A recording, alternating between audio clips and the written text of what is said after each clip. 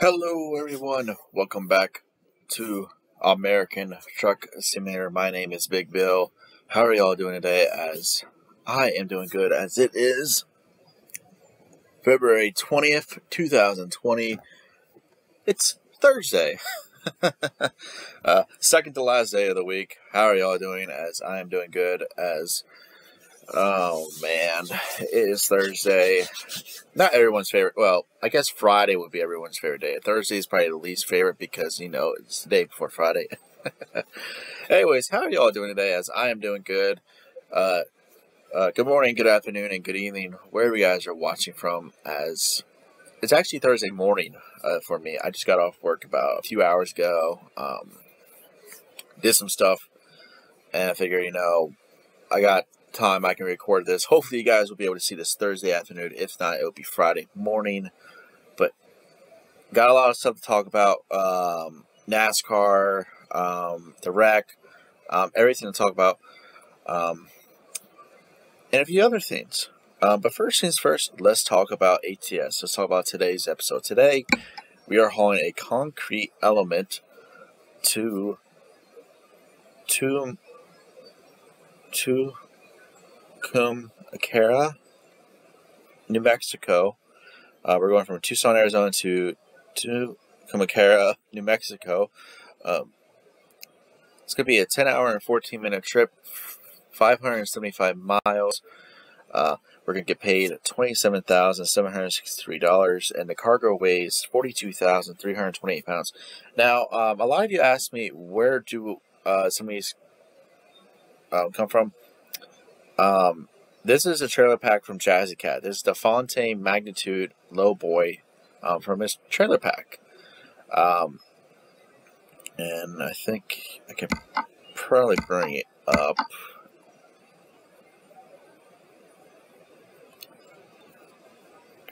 Yep, right here. This is his low boy. Uh, he's got actually a bunch of low boys in here, but this is one of them. And here is the one we are loaded with. So, and if you guys know Jazzy Cat, he loves to throw in some nice loads.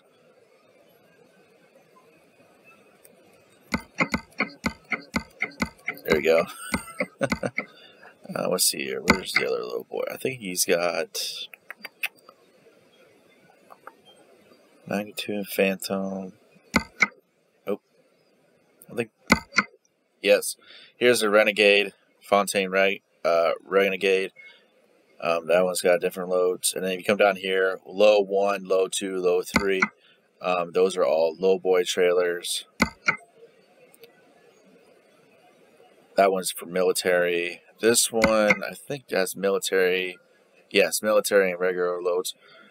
And I can get there. Mouse is not acting properly today. Um, here's the third one. I think there's one more. Let me look. Oop, no. Sorry. yeah, right here. The TM Pittis LB5. Different amounts of cargo. Oh, man. I know there's one down here.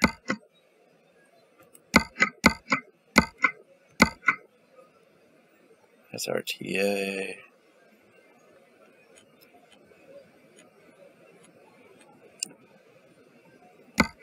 Nope. I don't know where it is. I thought there was a... No. Oh, there it is. Dragon. This is the Dragon 5 axle trailer. Um, it, this is here's the reason why I could have. I thought it was down here. No, it's right up here. It's the Dragon Five axle trailer. Um, this is actually a pretty unique trailer, and these four cargoes are very heavy. Um, I will. I did pull that one, but I will be pulling them later. But um, anyway, let's get back on topic. Um, not a very big, hopefully not a very long video today, but anyways, hope you all enjoy um, the video and let's actually get hauling.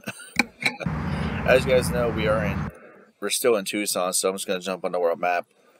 Uh, once we get on the highway, I'll start talking. I'm not going to turn off my mic, but um, you guys won't be able to hear me talk. So, but there you go. And you guys already know we already been here, but you know there's a lot of gray here in New Mexico, and hopefully we can get some of the stuff filled. Maybe come back through Arizona, and we'll jump through all the other areas.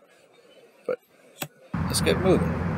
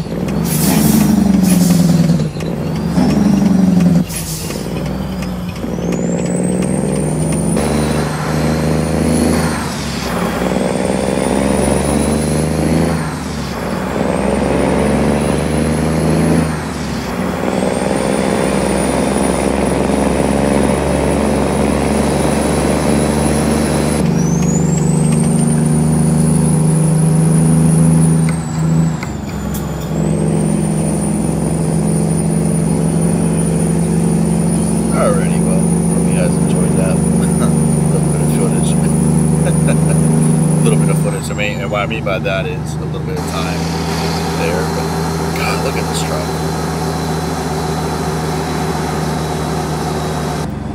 Uh, somebody did ask me this. Did you run um, uh, the big ones, the flat tops? Uh, yes, I did. I ran. Okay. I ran the custom paint uh, flat top chrome on the top.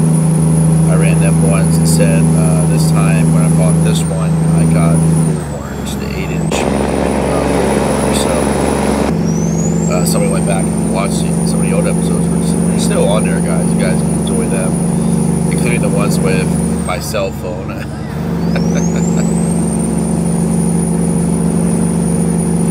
but anyway, let's jump off that let's talk about some. Every, everyone whether you're not a racing fan or you're not an NASCAR fan, but you do hear about it. Uh, let's talk about the Daytona 500, which was this past Monday, this week. Um, it was supposed to be Sunday, but um, got rained out. So, um, the was moved to Monday afternoon, uh, 4.30, or no, 4 o'clock, sorry, on Fox you know, it was a pretty abnormal race. Uh, race was good. There were a few wrecks. There was a big one. And some of the heavy favorites were still involved in going. And that's when this happened. Final lap of the Daytona 500, as they were coming to the checker, um, people saw Ryan Newman uh, get his car loose. Came down to the track, and Ryan Blaney came down, pushed him. Um, and I just want to make this clear. I am going to talk about Ryan Blaney and Denny Hamlin and all that here in a little bit, and Corey LaJoie. But I just want to talk about Ryan Newman and to the Ryan Newman and to his family. Um, my thoughts and prayers have been with you ever since the accident, ever since it was reported, ever since I watched that ending of that race that night. Um, growing up, I watched Ryan Newman when he first started, pretty much. Um, when he came in as a rookie with Jimmie Johnson, and when he was in uh, the To series. That's right. Um, but my thoughts and prayers are still with Ryan Newman, um, even though, and the reason I say that like that is because 48 hours later, yesterday morning, I mean, yesterday afternoon or midday, it was sometime in the day. Um, Ryan Newman walked out of the hospital down in Daytona or Center um, with his two little daughters and walked out of the hospital. And they flew home to Charlotte. And I just have to say, that is just incredible. But you guys did not watch the race. What happened was Blaney, um, as Blaney was pushing Newman, Blaney hit the um, right bumper, right rear part of the back bumper of Newman's car, which caused Newman's car to lose control. And that's when you wall head on.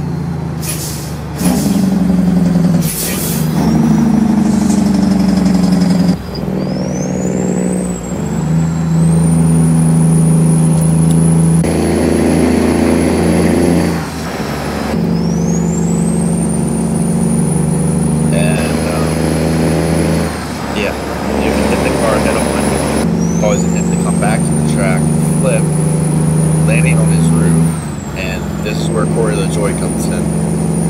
Uh, Corey LaJoie was in the smoke and could not see. Um, Corey LaJoie ended up hitting Newman where Newman sits in a NASCAR car, um, right at his door. Um,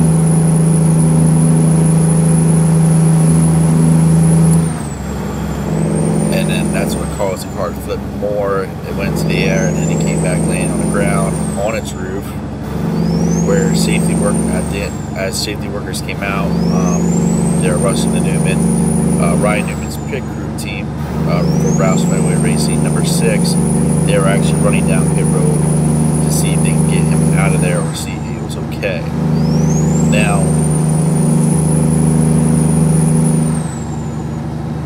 If you guys were wondering why bring up Denny Hamlin, what did Denny Hamlin do? Denny Hamlin did nothing with the accident.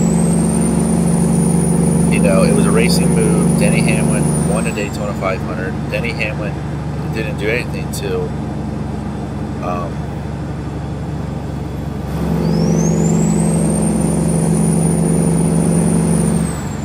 um,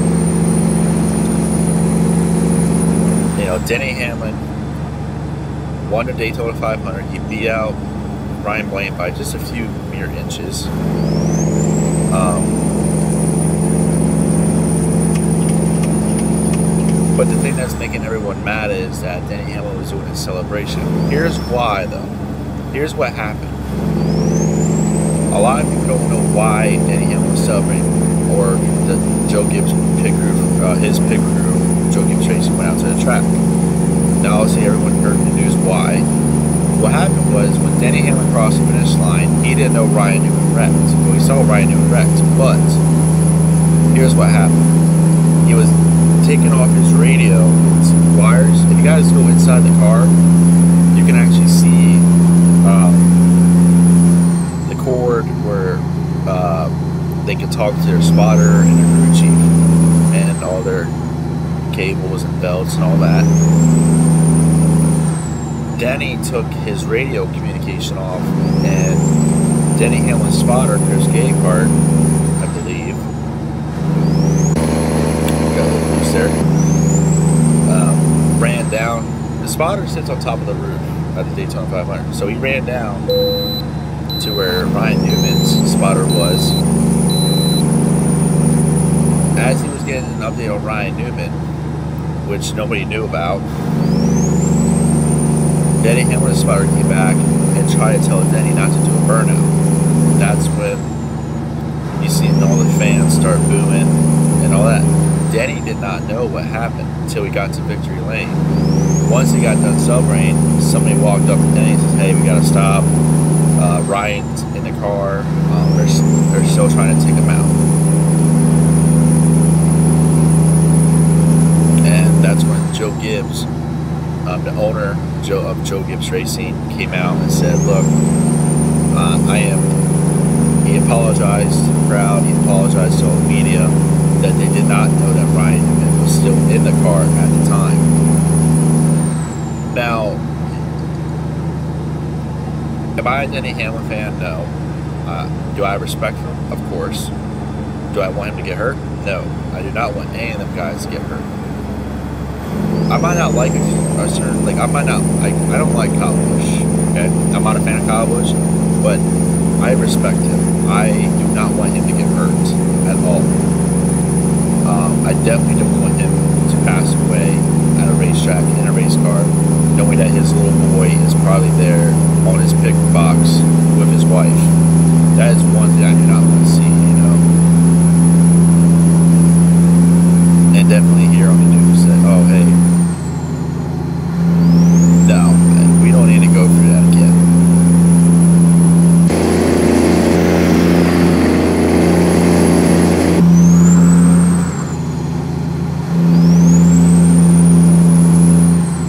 And if you guys are referring to what I'm talking about, was that yesterday was 19 years ago. Yesterday, um, the great Dale Earnhardt Sr. lead passed away at the Daytona 500 in 2001. Um, at 19 years ago yesterday, um, which I think I was at that time, but I was starting to love NASCAR. uh, my grandfather, he was a big Dale Singer fan. Um, you know, me growing up, I was a Jeff Gordon fan. but you know, there's a lot of things that I want, but the ones that I do not want is of the guys passing away at the track or, you know, getting seriously hurt. So,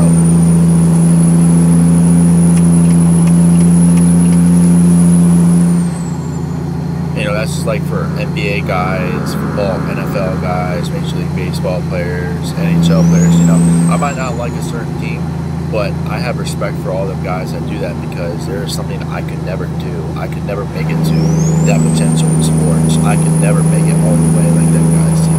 There's no way. And that's why I respect on every single one that's played in sports.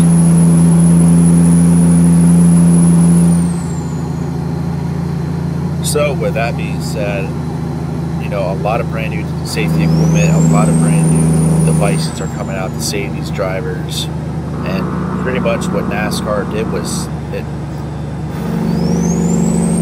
you know, it saved Ryan Newman's life. These brand new cars are coming out with these brand new roll cages, uh, the Hans device. Um,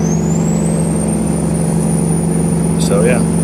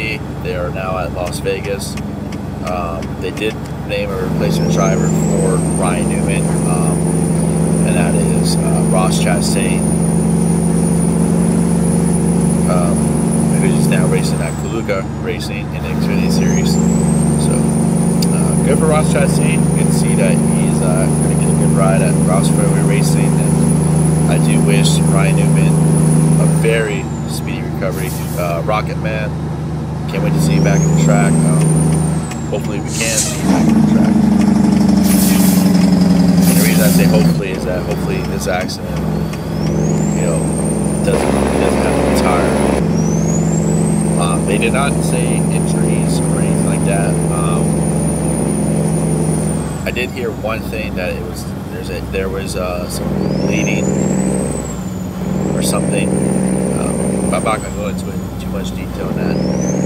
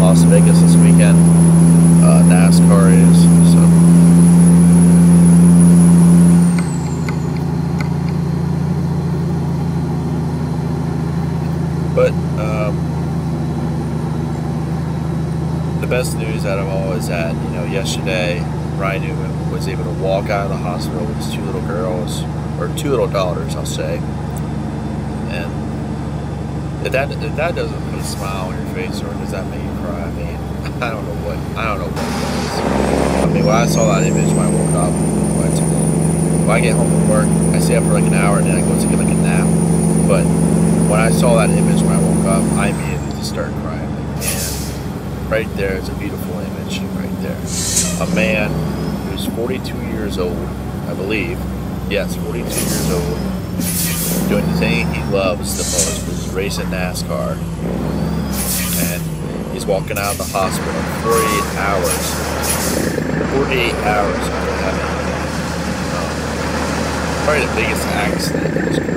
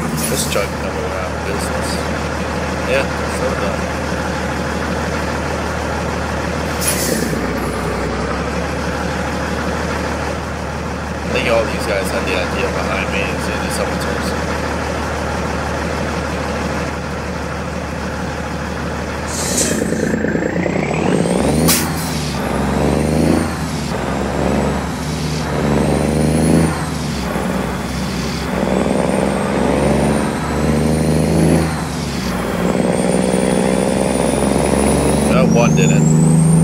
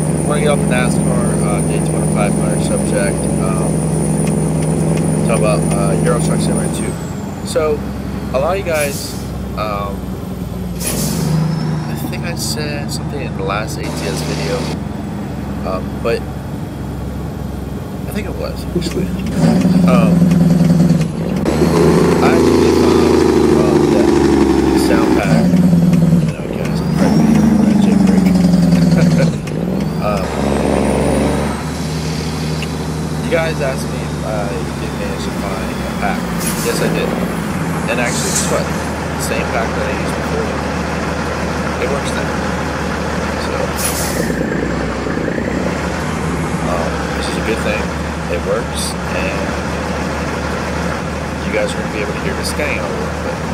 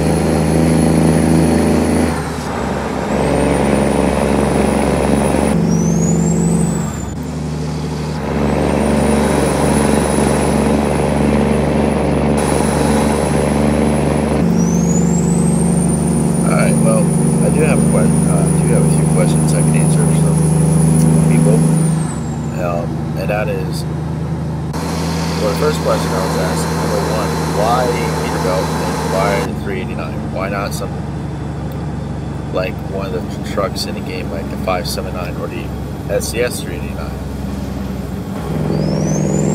Uh, quite simple.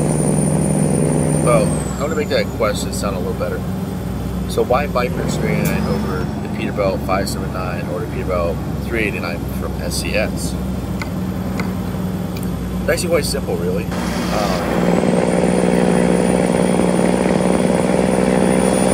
sorry for that. It's actually quite simple. 1, these engines, now there are some SCS engines in this truck, but they sound a lot better. Um, that's one. Number two, this truck has a lot of modifications you can do to it. Add lights, add a whole bunch of lights, um, add a decent beacon pack, my opinion, that beacon's a lot better than the two beacons you get with the SCS truck. And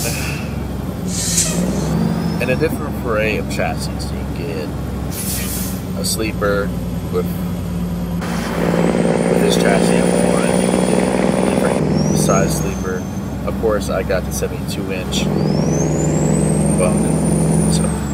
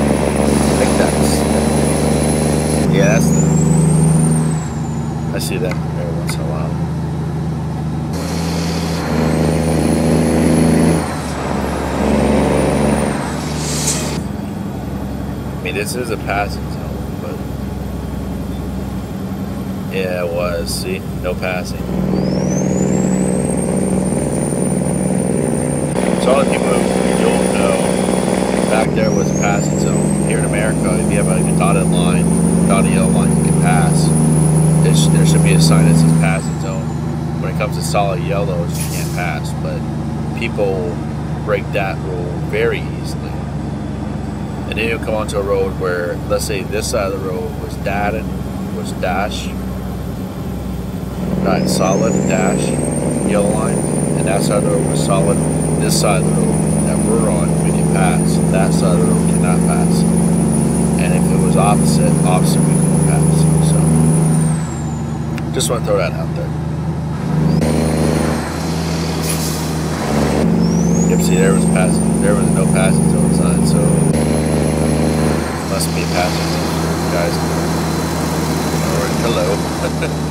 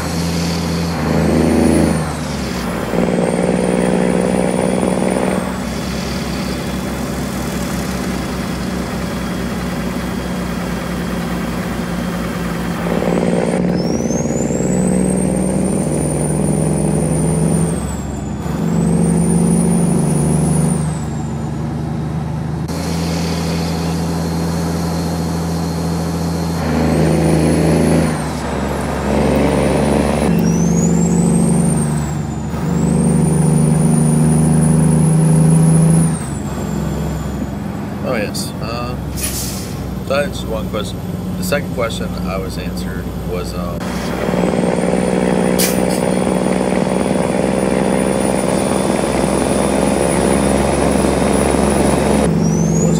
I should I should write these ones down. oh yes. Um, do I? What is the next game coming out for SCS? What do I see coming out next? And honestly, to answer that question, I I'm, I'm starting to think they're going to come out with an Australian truck simulator because a lot of people want them to bring in that um, because they don't want to pull the road trains. Um, I heard heard people say they would they would love they would love to see that game. Um, I don't know honestly because are we going to have an ATS two or are they going to do all of America? So that I don't know about. Um,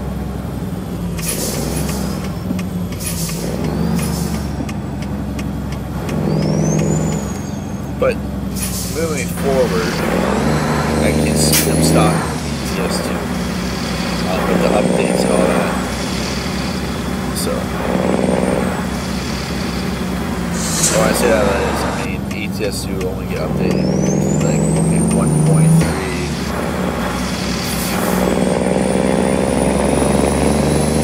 you know, or 1.4, you know what I mean? And that's what I can see happening. They're going to stop updating one of these two games. And they did say ATS is. Oh, across that way station. yeah, the one on the right there. Which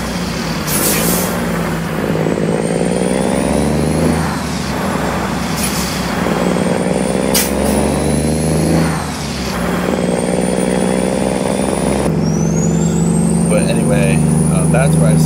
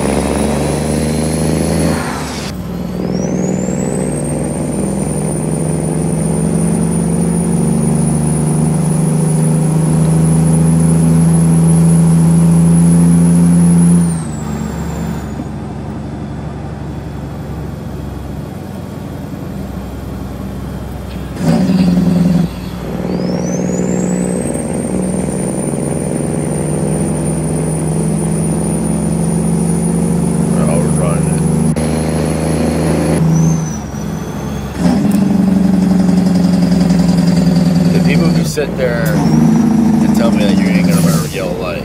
Come on now. I know a bunch of my buddies tell me.